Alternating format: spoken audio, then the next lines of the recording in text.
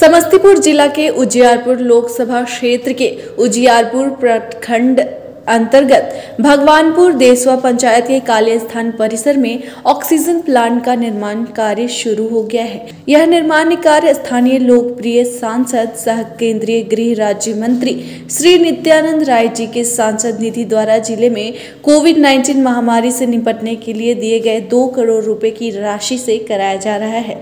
इस oxygen plant का निर्माण अत्याधुनिक तकनीकी द्वारा हो रहा है, जिससे कोरोना महामारी से जूझ रहे लोगों में हो रही ऑक्सीजन की कमी को यह प्लांट पूरा करेगा। इस प्लांट से ऑक्सीजन उत्पादन शुरू होने पर समस्तीपुर जिला ऑक्सीजन आपूर्ति में आत्मनिर्भर होगा।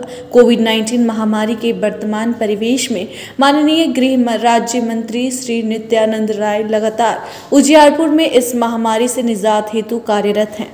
इस ऑक्सीजन प्लांट का निर्माण 15 दिनों में पूरा होकर यहाँ से ऑक्सीजन का उत्पादन शुरू हो जाएगा।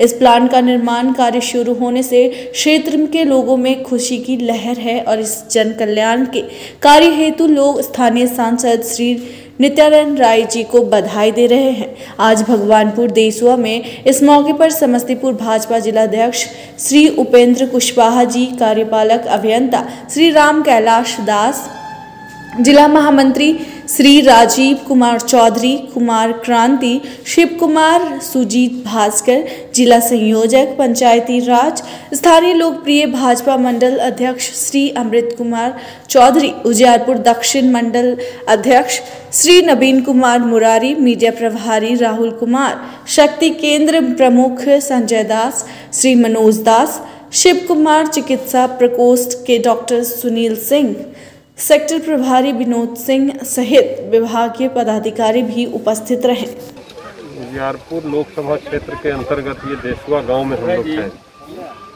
और यहाँ के लोकप्रिय सांसद हैं माननीय नित्यानंद राय जी, जो देश के गृह राज्य मंत्री भी हैं। और कोरोना जैसे विपदी विपदा वाली स्थिति में उजियारपुर और समस्तीपुर ही नहीं, हमारे सांसद पूरे देश को का मॉनिटरिंग कर रहे हैं। और पूरे देश भर में अभी जो कठिनाइयाँ उत्पन्न हो रही है उसको गृह मंत्रालय के द्वारा हमारे नित्यानंद राय जी उसका सोल्यूशन निकाल रहे हैं और उसके लिए लगातार काम कर रहे हैं। मंत्रालय में 18-18 घंटे तक बैठकर वो काम कर रहे हैं। और एक मिसाल के तौर पर देश में ये इसकी शुरुआत पहली बार उजियारपुर से हो रही है बाकी इसका अनुसरण लोग करेंगे। अच्छा ये पहली बार उजियारपुर से ही हो रही है? जी जी जी। यहाँ अपने सांसद निधि कोष से उन्होंने तीन चार दिन पहले बोला था और यहाँ के जिला पदाधिकारी महोदय को अनुशंसित किया था कि ऑक्सीजन प्लांट के लिए, जहाँ ये काम आप देख रहे हैं कि शुरुआत इसकी हो चुकी है और यहाँ के पदाधिकारियों ने भी बताया और हमारे सांसद जी ने भी जो बताया था कि पंद्रह दिनों के अंदर में ये बनकर के तैयार हो जाएगा और यहाँ से ऑक्सीजन सप्लाई भी शुरू हो जाएगी। ये सेंटर है, यहाँ से पूरे ज़िले भर के लोगों को ऑक्सीजन जो अभी लोगों के जीवन के लिए बहुत ही आवश्यक चीज़ लग रहा है और एक प्रकार का हैवॉक बन चुका है अच्छा ये यहाँ से कहाँ कहाँ भेजा जाएगा ये चीज़? यहाँ से उजियारपुर लोकसभा क्षेत्र के अंतर्गत तो जाएगा।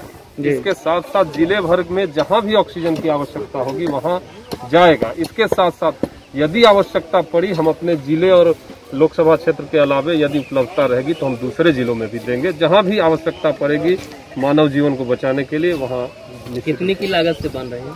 ये लगभग एक करोड़ की, के लागत से बन रही है। लगभग है ना सर? इसका एस्टिमेट आ जाएगा। अभी मुझे जानकारी व्यक्तिगत रूप से नहीं है लेकिन हम उसको देख लेते हैं। लगभग उजियारपुर क्षेत्र में कि, कितने प्लांट का ये योजना है? उजियारपुर क्षेत्र में एक बन रहा है यहाँ और एक गडकरी जी के मंत्रालय से पटोरी में बन रहा है पटोरी मंडल ये सांसद निधि कोष से है वो मंत्रालय कितने का वर्ग एरिया है ये बीस पचास का है ना? बीस गुने पचास फीट का है। एक हज़ार फीट।